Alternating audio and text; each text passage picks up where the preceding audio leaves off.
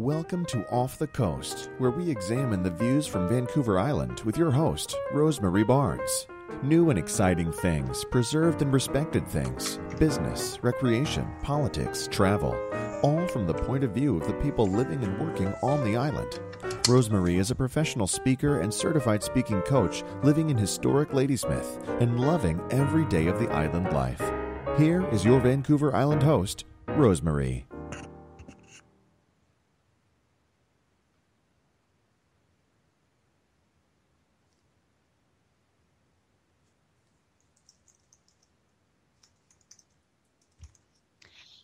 Welcome to Off the Coast Views from Vancouver Island. I'm your host, Rosemarie Barnes, and today's show is named after a very famous Dr. Seuss book, Oh, the Places You'll Go. Today, it's my very great pleasure to introduce you to a lively and dynamic woman, Alison Donaghey. Alison is the owner of one very successful business, Sunshine Girls Painting, has just started another, Domino Thinking, and recently became a radio show host right here on Bold Radio Station. Her show, Natural Born Speakers, airs every Saturday morning at 11 o'clock Pacific Standard Time, so be sure to tune in and listen to an hour of lively conversation. The name of her show, you know, is completely appropriate because that's exactly what Alison is a natural born speaker. And when this woman speaks, believe me, it's worth listening. In addition to running her multiple businesses, Alison also gives back to her community. She's involved with Habitat for Humanity, the Rotary, uh, Literacy Nanaimo, and she speaks to youth about the importance of the trades and making good career choices. Alison is dedicated to a great many ideas and ideals, but none more so than encouraging. She encourages people to think about what they're thinking. She loves to challenge people to be responsible for their thinking and their beliefs, and she calls herself a business chiropractor. Welcome to the show, Alison. Oh man, Rosemarie, thank you. God, I want to meet me. when you say it like that. uh, well, and that's you all over the place. So, Alison, so I'm I'm dying to know what a business chiropractor is. But before we get to that, maybe you can tell us a little bit about how you ended up being the owner and creator of a, a you were a woman and you created a business in the trades as a painter. How in the world did you end up doing that? Oh man, it was just uh, like so many things that I do. I just kind of fall into things Mm-hmm. And I just want to actually clarify too, because I am no longer actually with Habitat for Humanity or Rotary, but they both carry like a really sweet spot in my heart because I totally believe in both of what they what they both do and accomplish around the world. Both really amazing organizations, but I have stepped back from those. But I just wanted to clear that up because I don't want anybody going, "Hey, she's not there anymore." And but in heart you. and spirit, I certainly am. Uh, women in the trades, yeah, it's it wasn't all that easy. It was back in 99. Now, even if I go back a couple of years before that, I had gone to high school in the interior in Kelowna. And as soon as I graduated, I moved back to Ontario, which is where I was born and raised. And within about a year of moving back there, I found out that I was pregnant. I was on the pill, and I totally, totally never saw a child in my future. But alas, the universe had other plans for me. And my parents were living on the island. And so I moved out here while I was eight and a half months pregnant. I decided to drive across the country because that seemed like a really smart thing to do without health insurance down through the States, the things that we don't think about when we're 19. Oh and so I came out here and I had my son, who was his best, best, best, best thing that ever happened to me. And what a great place to raise a kid. There's so much to do, so many sports, so much outside activity. Nanaimo's really, I got to give proper props to that. It's it's it's great for that. So I was a single parent, and I had to kind of figure out what I was going to do with my life. And I'd been working minimum wage jobs, and I was still collecting welfare because, of course, you, it just wasn't enough to survive did you, on. Did you finish high school? I did finish high school. Yes. Okay. And so then when I moved after out, high school It was after high school. Yeah, um, after high school, I'd moved to Ontario, and Right. I, w- I went to grade thirteen there, and didn't really know what I was doing. I was partying too much, drinking way, way, way too much. I'm not even going to talk about the other stuff I was doing, and and so really having my son probably saved my life, and I was a bit of a wild child, and No. then. I know, shocking, hard, hard to believe, but it is true. And so when I came here and I was, I was working these jobs and I thought, wow, like I'm never going to be able to give a future to my son the way that I wanted to. Like I know lots of people are really, really successful at it and hats off to them. But for me, it was never going to give me the life I wanted and the life I wanted my son to have. And that is such an individual thing for people. yes. I decided that I should go back to school and get a degree of something. And I guess I was, I chose criminology probably because I was quite comfortable with the criminal aspect of our society. and I thought, I could, this is a field that I could actually sink my teeth into. And I worked at a federal halfway house while I was going to school and realized quickly that it really wasn't the job for me. I'm a much better rule breaker than a rule enforcer. and while I finished my diploma in that, I decided it wasn't an area I wanted to stay in. And I was working three part time jobs. I was going to university full time and trying to raise my kid. It What did you do in your spare time? did you go off and conquer a planet or anything in your spare time? Oh, you're too generous. that must have been that must have been exhausting. It, it was, but you know, when you're doing stuff and you don't see that there's any other way, there just isn't any other way. And being brought up in that generation where your nose to the grindstone and you work hard or you won't get anywhere was, mm. you know, I was probably maybe in the tail end of that that generation, perhaps, where I was raised by really strict parents, hence the wild child stuff, and we were we were forced to work really hard, and that was the only kind of thing I knew. I, have some different views about it now, but I'm not terribly sympathetic to people who complain because they have to work 20 hours a week and it's so hard. Oh. I'm, I'm certainly not the one to bring those problems to. No, no, they're going to get a, an awakening right quick. I think. I think so, yeah. And so I was working these three jobs. I was working in a retail store. I was doing data entry at the university, and I was working at the halfway house. And and then I met this guy who painted houses, and we started dating. And he said, you know, you can, um, you could have a job painting where you're going to make more money per hour, and therefore you're going to have to work less often, and you're going to get to see your kid. And I'm like, sign me up! Like, where do I do this? This is amazing. So he taught me how to paint. And shortly after I moved into him, he relapsed. He was an IV drug user, and life became mm. very, very complicated and very stressful. And you know, people say that there's always choices, and sometimes there just aren't. And, and a choice that isn't viable is not a choice. Like I could have lived on the streets, but I couldn't get income assistance to help me. My family wasn't um, supportive at that time, and so the only other real choice that I had was probably living on the streets. So Oh. you, you, yeah, it's With your son, yeah, or And giving up your son, or something worse.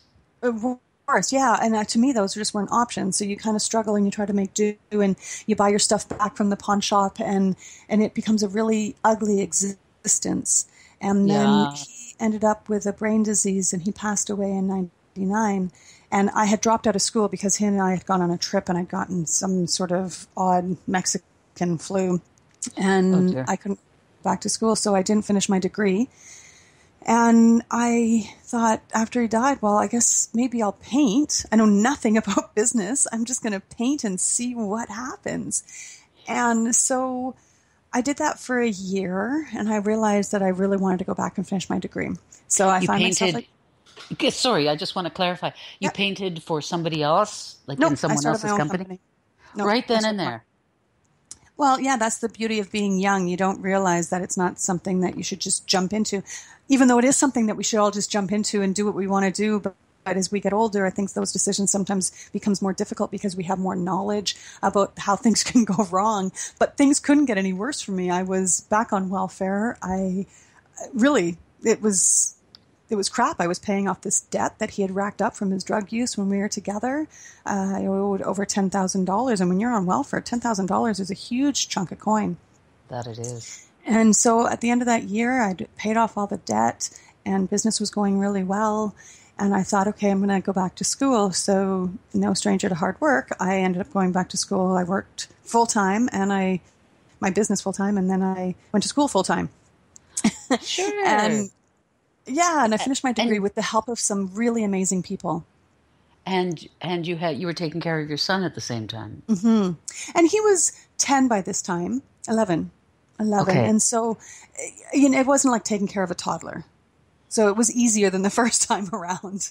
Wow. And and because I was still really jazzed about the business and I was learning lots of stuff and I had amazing support from some of my instructors and um, some of the other professionals up at the university, I was able to to complete my my degree in a year. So I have a bachelor of arts with a double minor in psychology and sociology. And then I went over to Vancouver to get a certificate to teach English as a second language. My son and I moved to Italy for six months, and I taught English while running the business. And so it was all really kind of crazy. Oh my goodness! Jumbled all up, and yeah. Okay, Alison, Alison, has anyone ever called you hyperactive? Uh, were you drinking inordinate amounts of coffee? Were you? How did you maintain that energy level? Uh, well, I you know I think it's just that mentality that you just got to do what you got to get done, and that had sort of been my my um, operating system for so long. I just didn't know any different. Has it changed? No. not, not really. No, no. It's uh, anything worth doing is worth doing all out, right? There and, is yes, yes. There is, as Yoda said, do or do not. There is no try. Yeah, exactly. Right. Yeah. And so my so son, there you are in Italy. Yeah, and I got sick. Something oh, no. about traveling and getting sick is crazy. So about 10 days after I arrived there, I started getting sick and it had some sort of environmental poisoning. And so by the end of the six months, I was, I was done. I was so sick. I couldn't, I could barely walk. I had numbness from the knees down and Oh no! It was uh, it was a horrible sort of existence, and we came back. And my son really, really wanted to come back.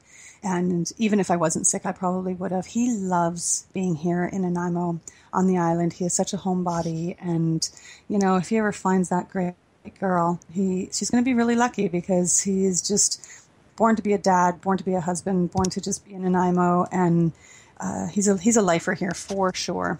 Hmm. And it'll be Nanaimo's gain. Nanaimo's yeah, gain.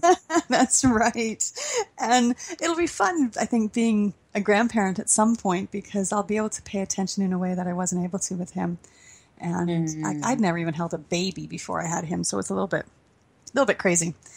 Wow. And then um, I thought I would leave Nanaimo when he graduated because I'm a gypsy and being on an island is I find really challenging.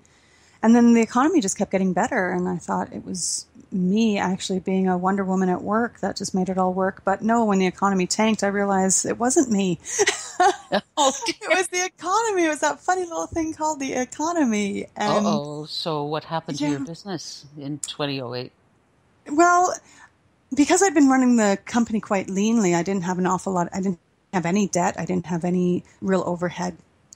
And because I really didn't know much about how the economy affects a business, because I was still thinking I was amazing, it took uh, me about a year longer than everybody else to realize that things were going downhill. And I've always had really super loyal customers, and that's kind of helped keep things going. But I did get to learn an awful lot more about business and aligning systems, which I guess is where the chiropractor stuff comes in, getting that alignment happening. Oh, okay. There it is. There it is. Business and helping. That's right. And helping other people when they look at their business, streamline it, get really in touch with what their core relationship is with their business. What is that thing that matters most? And once that's identified, then all your systems can point in that direction. So and you most, went from a woman who didn't know anything about business yes. to owning your own very successful company, mm-hmm. surviving 2008, and now you're helping others with their businesses. Am I am I getting that right? Pretty much, yeah.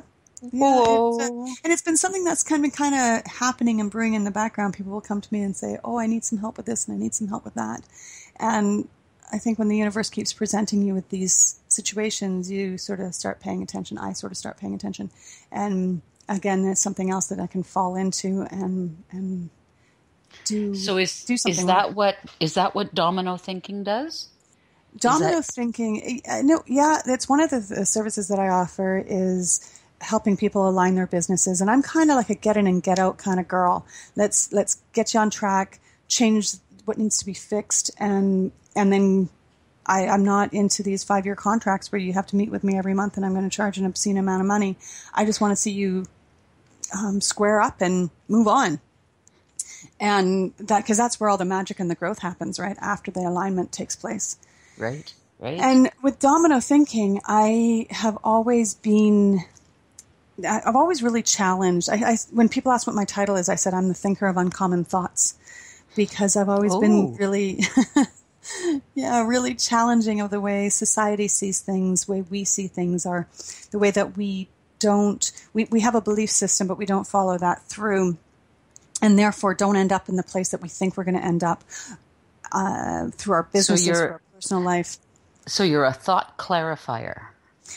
Perhaps, I guess I I've just I want people to really take accountability for what they believe in. I don't want people I don't want to change people's minds.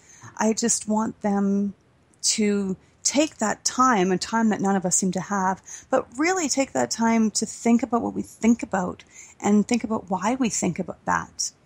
And yeah, it, it must be it must be a bit of a challenge. I mean, people uh, in the do or do not scenario. Mm-hmm. We often don't take time to think about why we're doing what we're doing.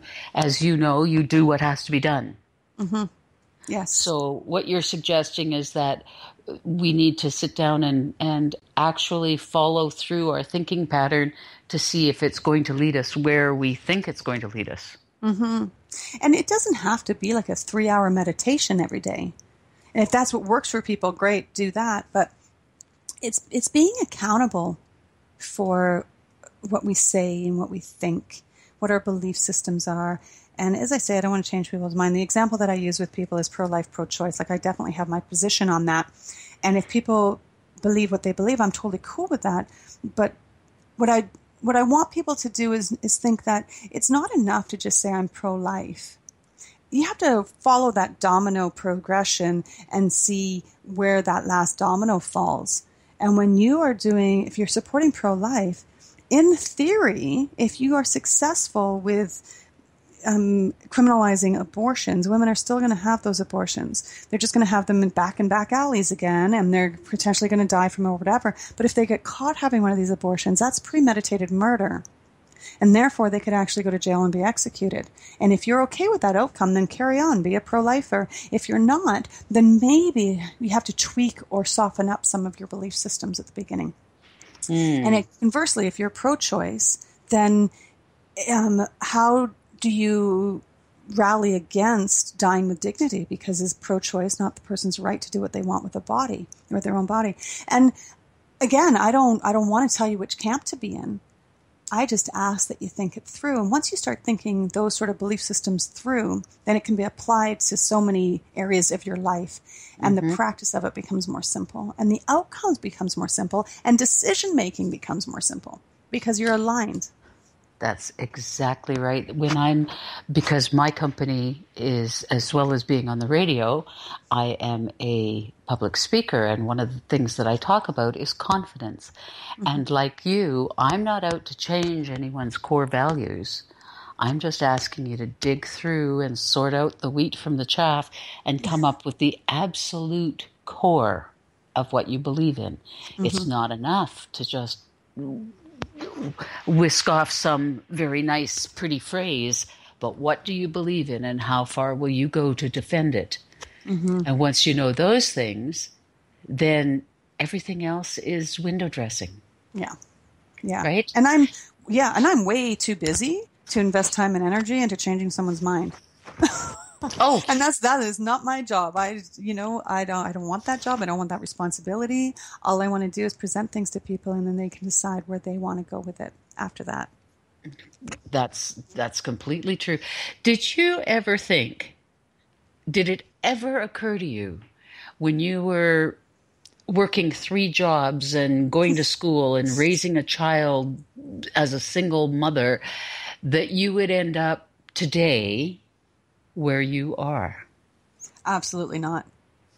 No, it, like there's nothing in my realm of thinking back then which would have put me here.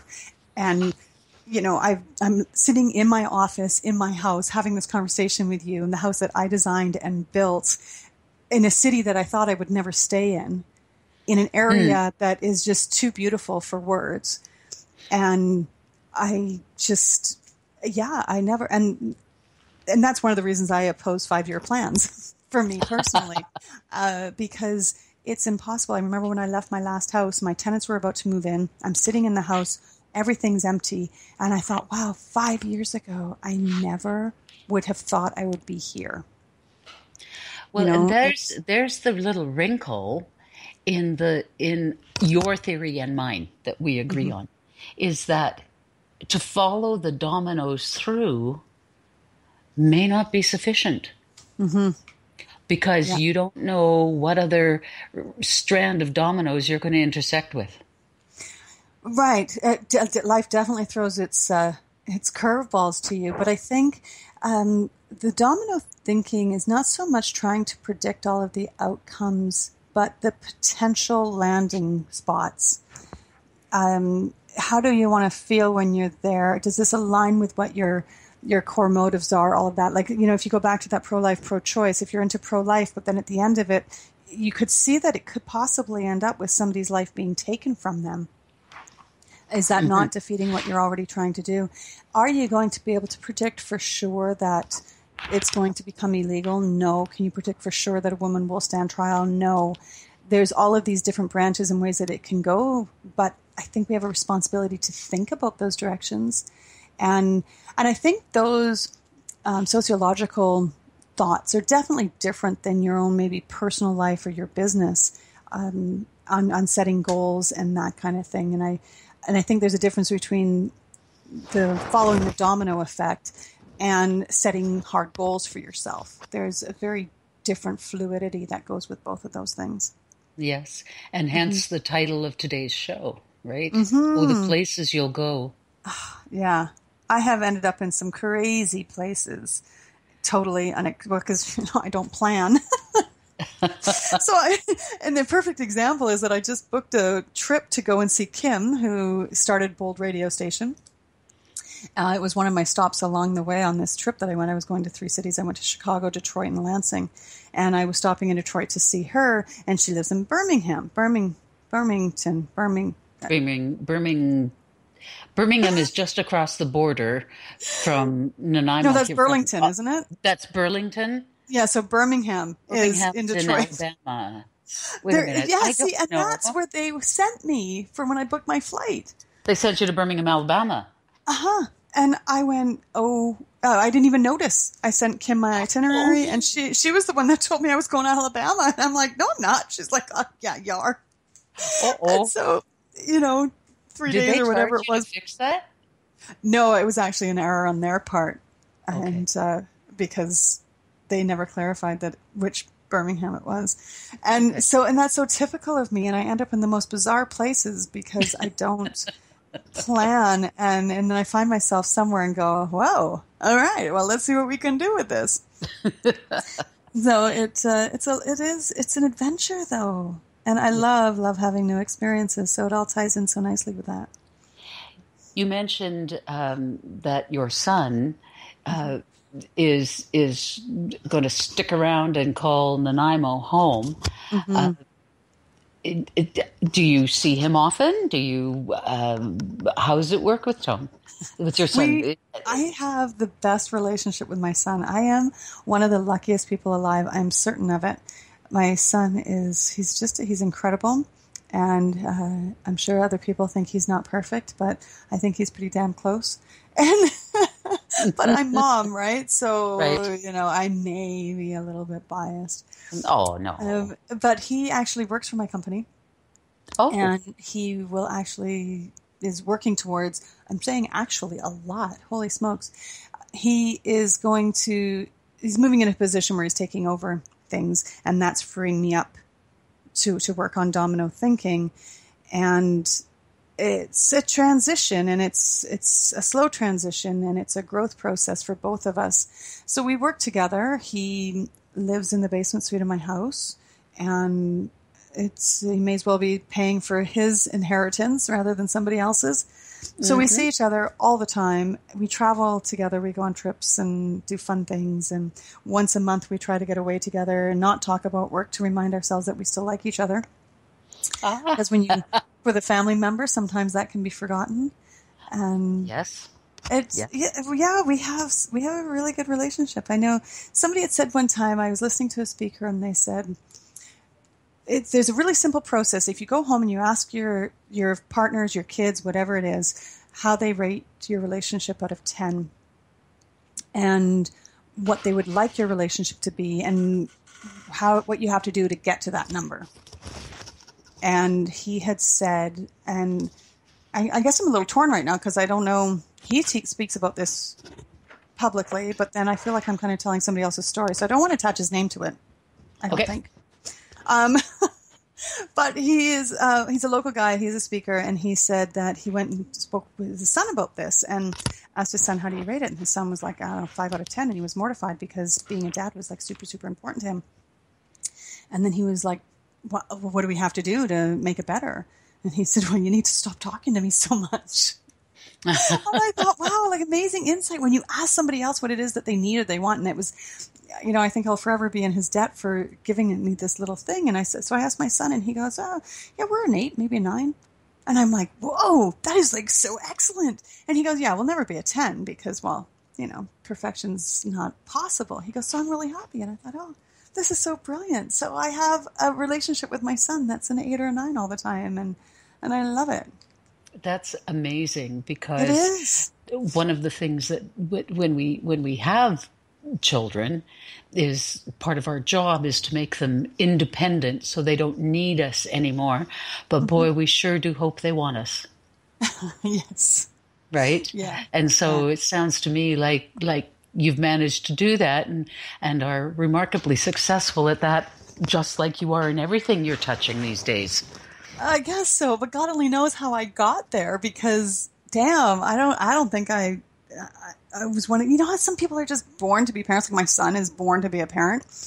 I, I don't know how my kid didn't starve to death or get left behind at a mall or I didn't take some other kids home from the park like you know, I just uh, I always felt like those characteristics that make a good parent were missing, but then I've ended up with this really great relationship. So perhaps there was something going on that I still don't understand. Well and not only a personal relationship but a business relationship as well Uh, there's got to be a great deal of trust. So I'm curious now. So when you're, uh, we can pretty much assume that that I know. I don't think we ever clarified. You are a residential painter, or are you a commercial painter? Both. Your we do interior and exterior, residential and commercial. So we'll do anything from um, a wall in a bathroom to a four-story exterior condo complex, shopping mall, that sort of thing. Uh, we are totally set up and capable of doing all of that. And it's been working in the trades has been a really interesting journey. I highly recommend people get some sort of trade under their belt. Even if they're going to be a lawyer, go to hairdressing school or go to bartending school or do something so that if your big plan doesn't work out, you have something to fall back on.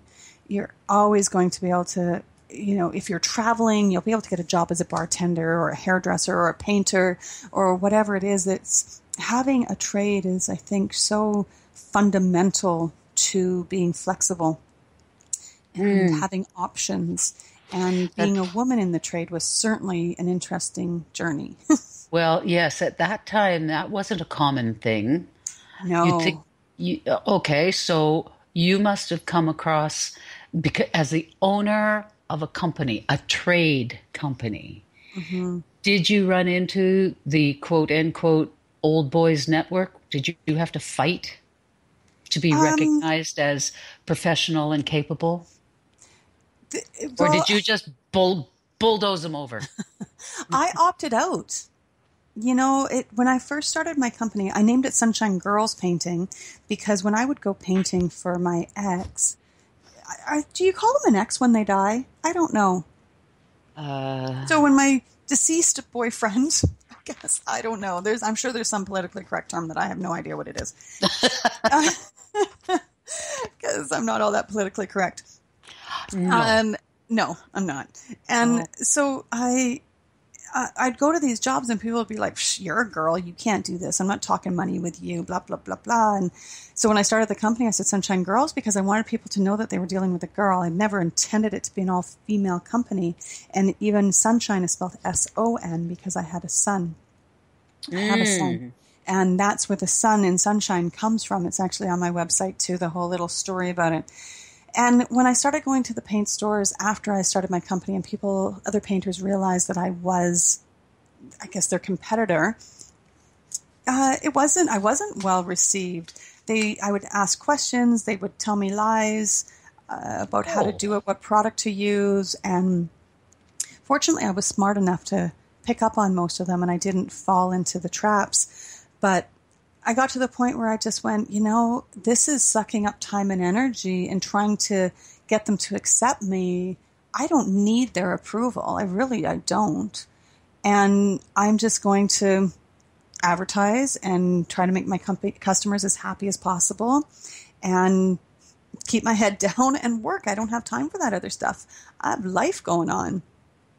yeah, and it's so my biggest obstacles came from other painters accusing me of false advertising and that kind of thing when in fact it, my customers have no issue with it at all. Um, i'm really clear and i'm upfront that this is how it is. And they're like that's cool. We're dealing with you and you're a girl and that's great right?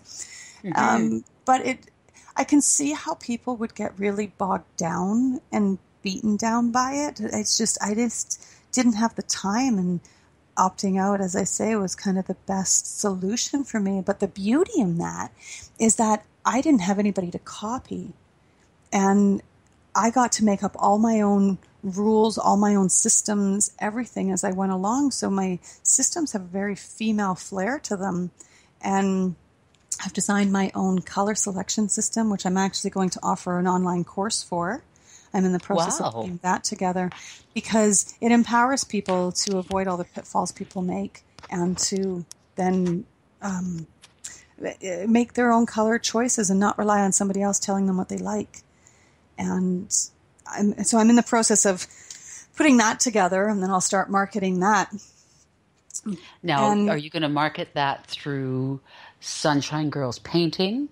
Yeah. or th- or okay so then tell me uh domino thinking i'm still confused about what you do what domino thinking uh what what the core value of domino thinking is and which direction you want to take that i understand domino thinking is about is about getting people to to uh in fact think about what they're thinking about.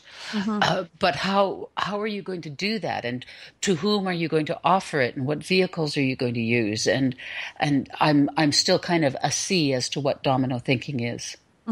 It's- and rightly so. It definitely is kind of has an uncommon start to it, and I think it it is morphing. Like almost every good business will do, it morphs from one thing to another, uh, while finding its groove and meeting the needs of the the audience.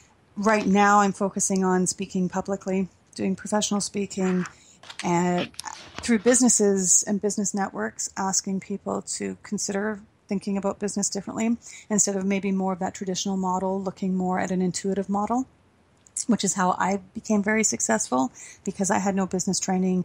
Um, ROIs and margins and all of that meant nothing to me. And, and still, on some level, they still don't mean anything to me the way I measure my business success is how do I feel when I bump into my customer in the mall? How do I feel when I'm able to take a trip because we had a great season? How, like, that's how I measure my success, not whether or not I made the profit percentage I had set out for myself at the beginning of the year. uh do And you so- think go ahead go ahead So the domino thinking will encompass some of that, talking to businesses about how to think differently about things, how to un- have uncommon thoughts, and how to use those to your advantages. And thinking, talking about more social issues too. I just spoke at Power Talks, and I know you've spoken with them as well.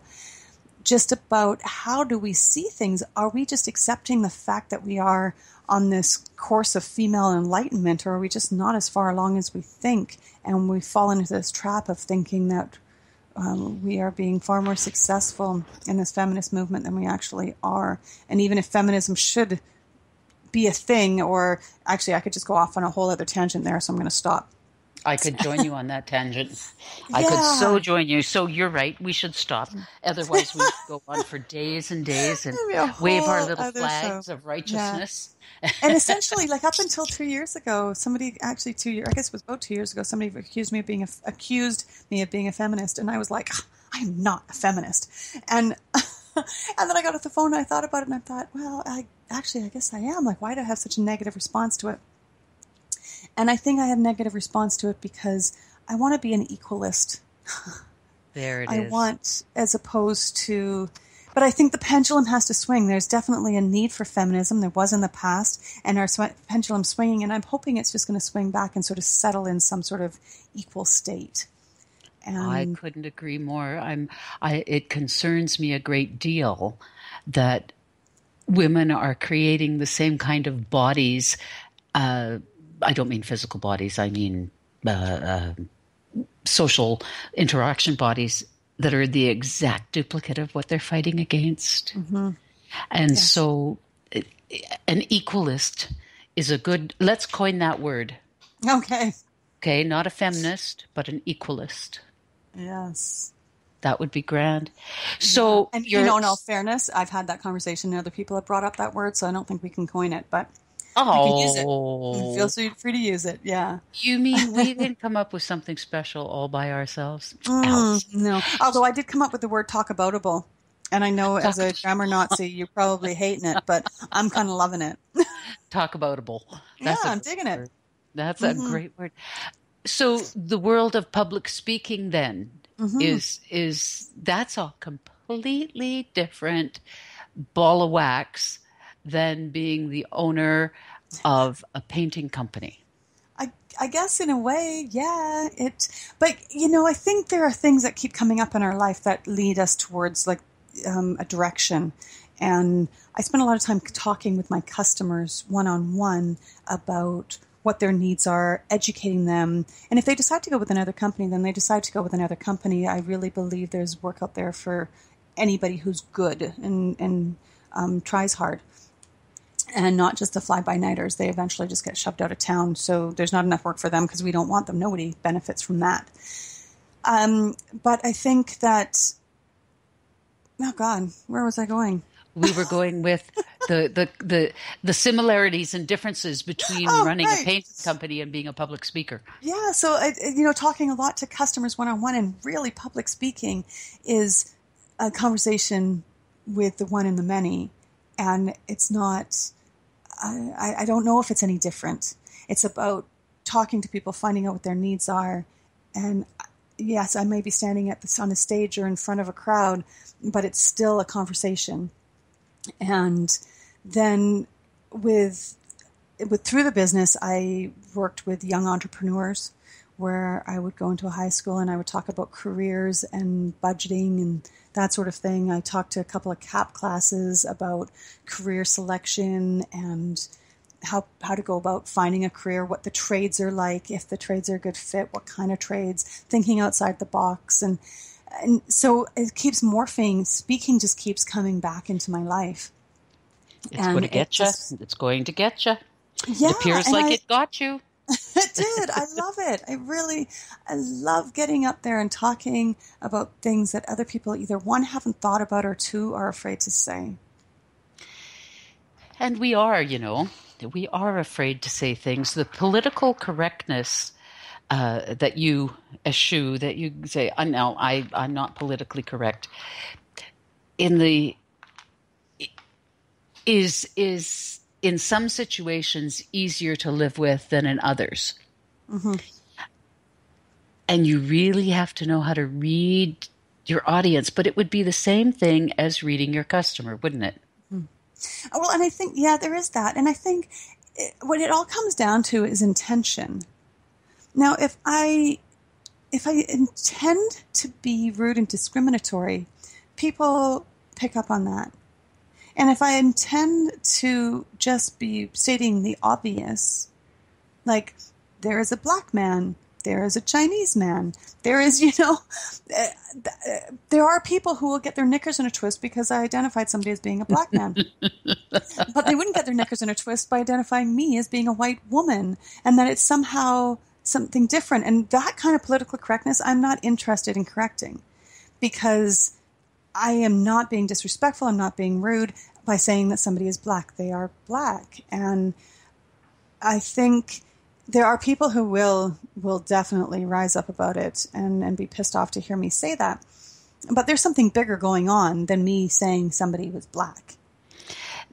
I agree with you. I mm-hmm. agree, and I can't you. control I that. No, yeah.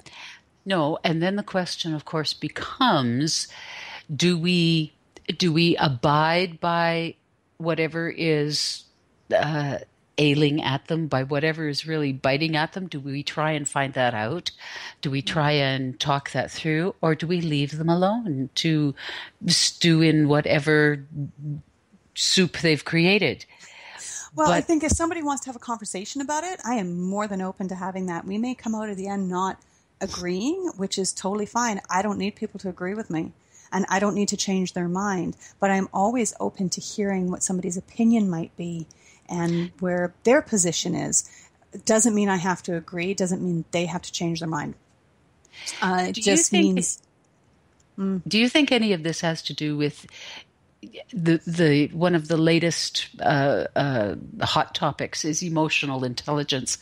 Do you think any of this has to do with the emotional intelligence of the of of people in general?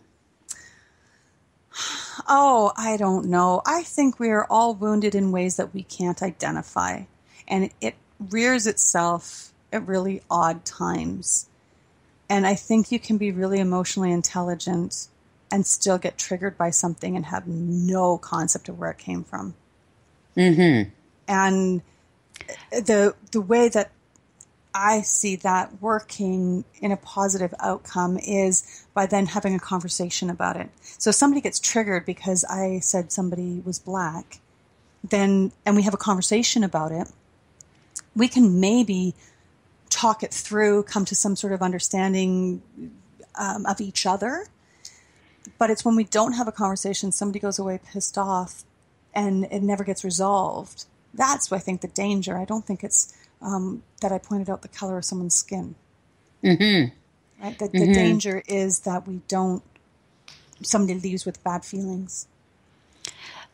The, I agree with you. I agree with you. And yet, it's the sensitive topics that have caused the out, the, the, the, the, negative response in the first place that are exactly the conversations that people don't want to have. And I say, bring them on.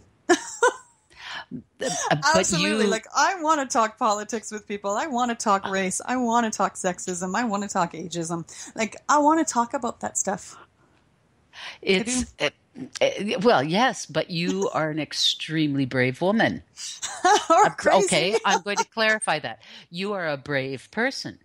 Thank you. Many others would have succumbed under the remarkably heavy load that you were carrying uh, as as a youngster, coming from Naughtyville and Rebel Rebelville to mm. becoming a mother and a business owner and but yet you still have managed to maintain that spark of of who you always are. You're still being a rebel. Oh yeah till the day I die. Like I'm seriously, you know that expression about you don't get any points for dying looking great or whatever. No, I am skidding into home plate with tequila, you know, probably flying my own plane or something crazy. Oh, um, yes. So, yeah. so tell me, tell me. Speaking about that, what else is on? I mean, you have done remarkable things, amazing things, and but I'm sure that your bucket list goes on and on and on. You know, I don't even have one. Because if something occurs to me to do it, I just go do it. Like, and hmm. I'm, and I'm really fortunate. Like it's almost like my brain doesn't allow it to pop into my head until the universe says I can handle it. I don't know. Wow. But it, uh, you know, I went to Thailand, uh, Southeast Asia last year for six weeks. It wasn't even on my radar to go, and then it was just like, oh, I think I want to go there. And it started out as a two week retreat in Thailand, in South Thailand, in Phuket. And then I went, oh, well, I'm not far from um, Bali. I could just go there. Yeah, I was far from Bali. Bali is like a seven hour fucking trip flight. It was crazy. I was like, you gotta be kidding me. Because there was a stopover in, in Kuala Lumpur. And, and then I had a three hour drive from the airport to my, where I was staying at an Airbnb. And I just thought, yeah, this was another one of my great plans. But what an amazing adventure that was. And then I went through Cambodia and then I went to Chiang Mai and it turned into six weeks. And it was wonderful because my son had the opportunity to run the business and he did a great job. And then I, I had this really terrific experience and it wasn't on my radar until it could be on my radar. And then I went, oh, this is what I'm doing. I'm falling into it. And wow. so I've been I've been really really fortunate. And I guess it's one of those things too that being single helps because I don't have to take somebody else into consideration. I don't have to take somebody along on the journey or think that their feelings are going to be hurt. And so I, I have a lot of freedom in my life, which I value probably above almost anything else. So you've you've never been married? No, I am not and the marrying type. You're not. So you're a dyed in the wool. I'm going to maintain my single status. No, not necessarily. I just think it'll take a really um, unique and special guy to make me um, consider it. Hmm. You know, and and if it comes along, great. Like I'm open to it. But if it doesn't, I'm having a good time.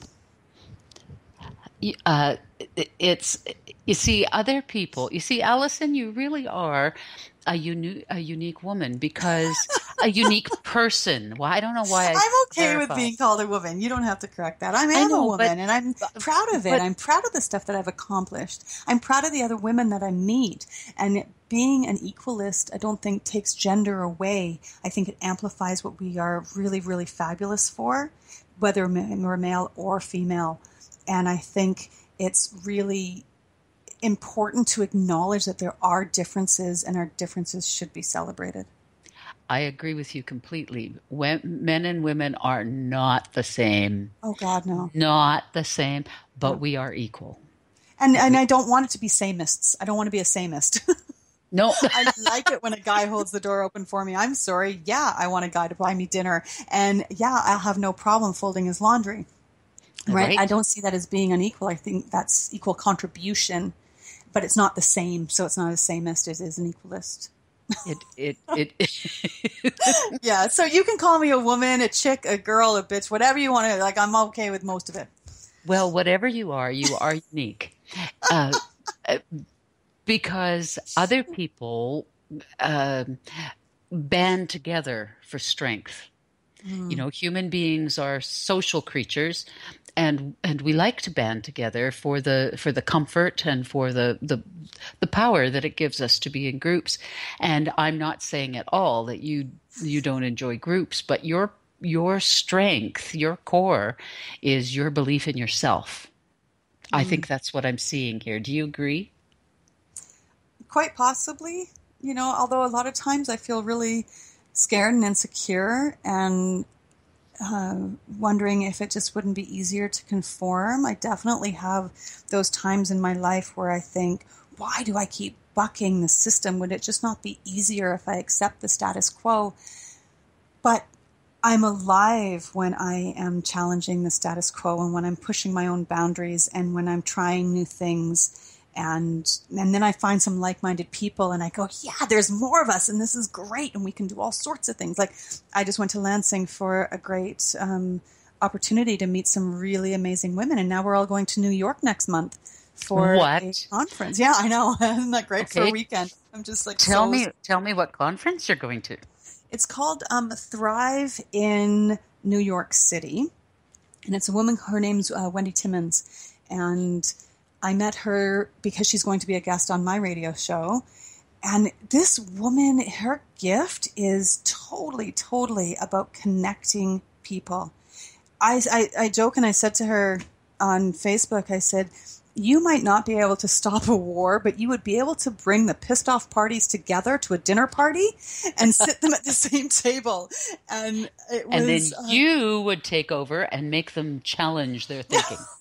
yeah, well I, well, I don't know about that, but she is so gifted with that, and her gift brought all of these really great women together at this uh, Thrive in Michigan um, retreat, which is under the same umbrella, but a totally different event. It was more of a workshop as opposed to a big conference. And she, I'm, I know these women and I are going to be friends for life, and I'm so thrilled to have that that substance and quality and connection. I will be forever in her debt for setting that up. And and then Wendy is going. A friend of hers manifested this idea that she was going to purchase Julia Child's house, and she oh. did what? yes. Yes, and so now Wendy's going to be moving there to Paris, to France for um, a year, and she's going to be producing a document documentary about it. But it's all about she's just this master um, mindfulness manifester person, and master she gets mindfulness. I don't even know. Like, is there titles for people like her?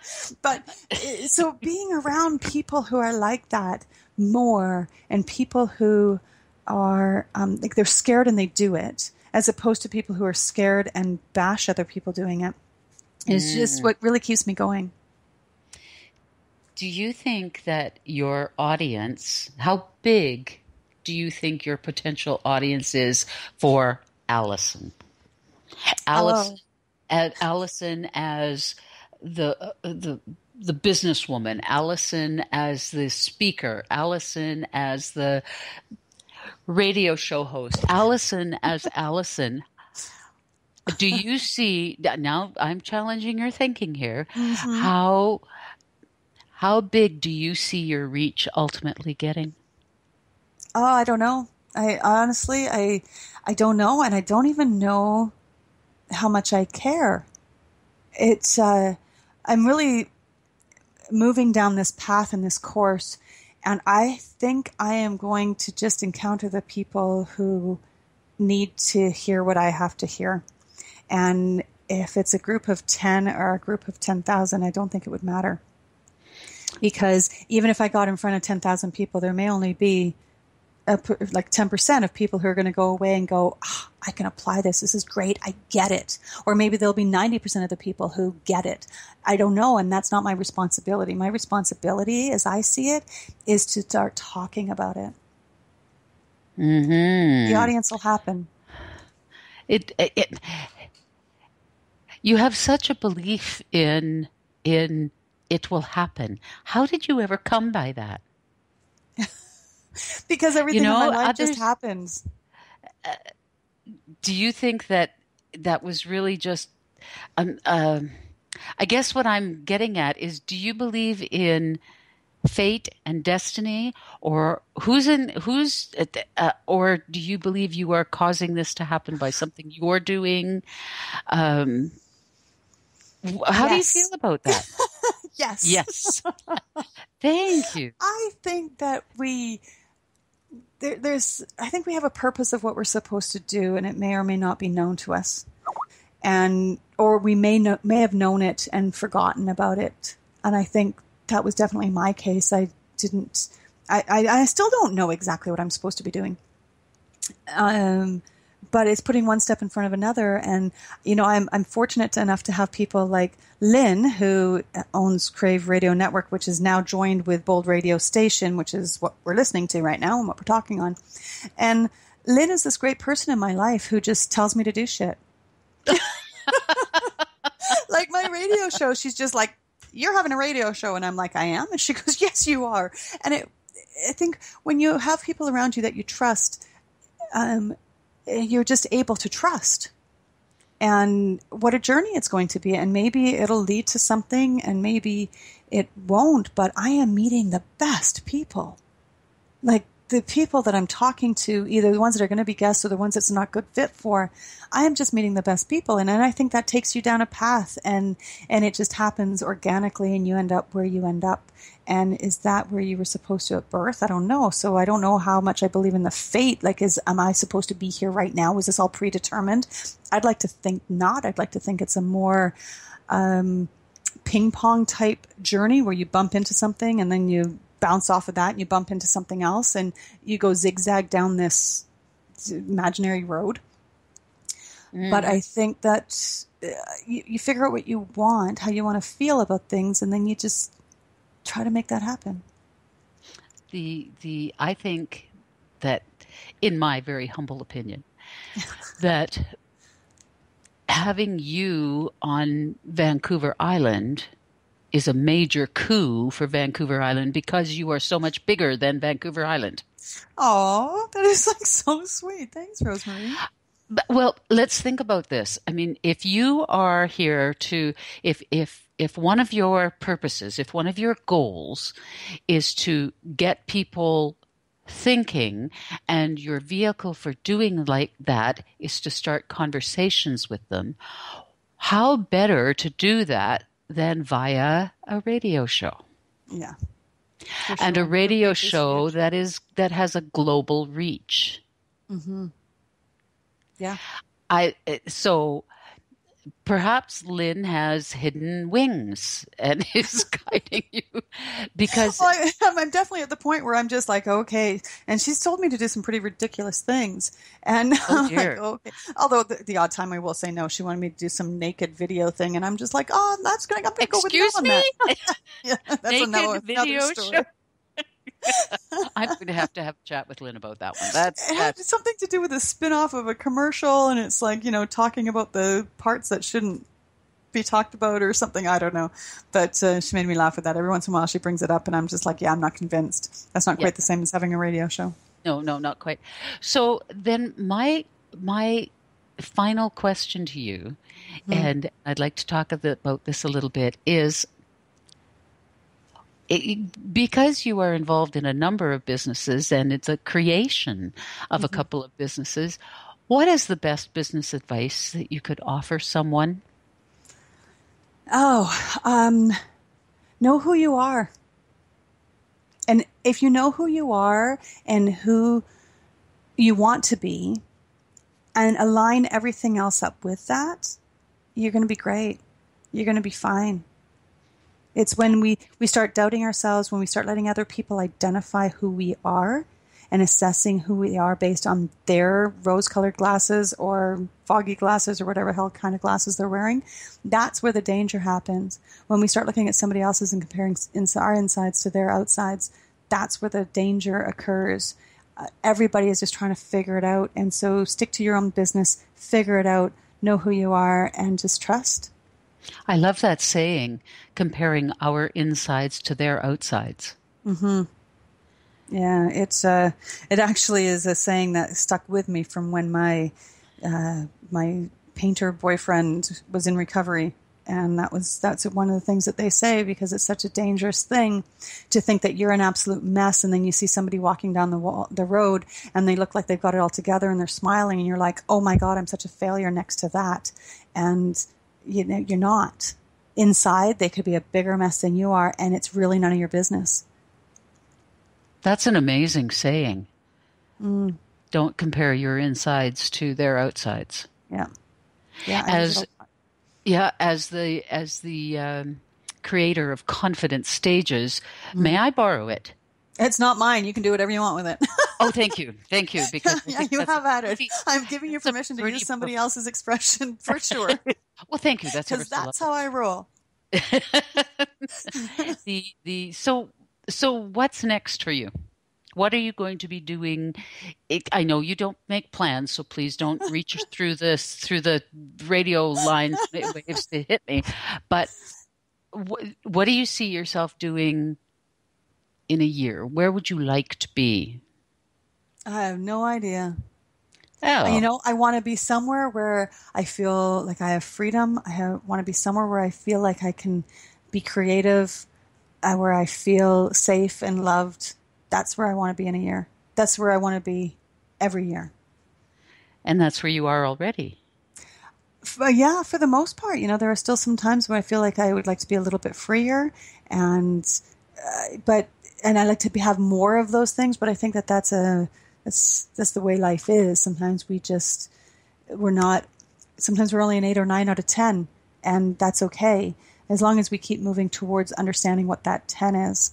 And definitely, like I'm listening to um, lots of stuff right now, about, especially like Danielle LaPorte about your core desires and and I think she's nailed it. I think she's absolutely brilliant. I want her on my show.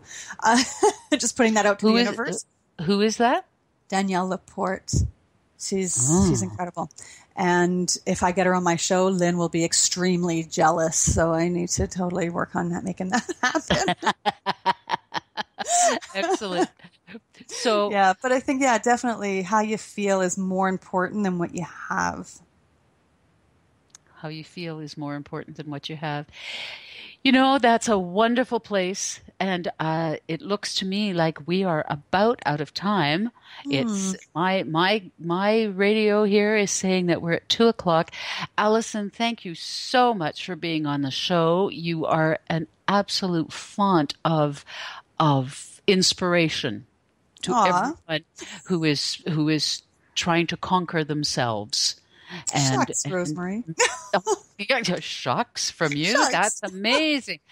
And I know I, I didn't say holy fucking shit, right? and I would also like to thank our producer Nesha for for uh, making the call very smooth. And until next week, this is Rosemarie Barnes, the Maverick voice at Confidence Stages and the host of Off the Coast signing off, and we'll look back to seeing you back here again next week. Thank you for listening to Off the Coast Views from Vancouver Island with host Rosemarie Barnes. To book Rosemarie as a speaker or speaking coach, or to offer suggestions of extraordinary guests for the show, please visit her website at www.confidencestages.com.